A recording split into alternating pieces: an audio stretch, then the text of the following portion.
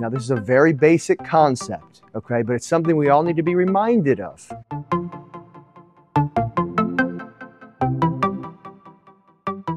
Okay, if my path is steep and over the top, right, which most of us are, we're trying to get it closer to zero or maybe get our path positive, so that's slightly out to the right so we can hit a draw.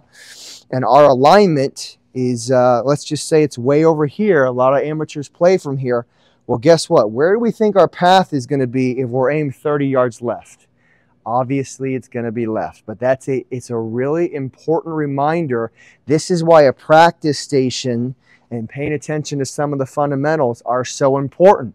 Likewise, in, in my long drive events, alignment is paramount for me because obviously it's going as hard as we can, everything is amplified. So little misses at 155 miles an hour are bigger misses.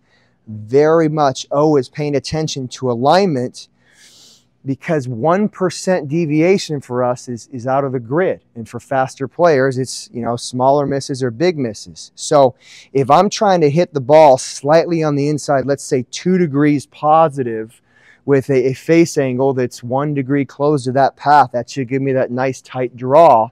Well, if, if my alignment, you know, if it gets a little too closed, now we're talking three, five, six degrees to the right. It's a big deal. I mean, look, this is right down the, if, if all of a sudden we're pitched out this way, all right, obviously we're going to be coming from the inside more. And that's why at the PGA Tour level, and if you come out to one of my long drive events, you're going to see a lot of practice stations. You're going to see a lot of fundamentals.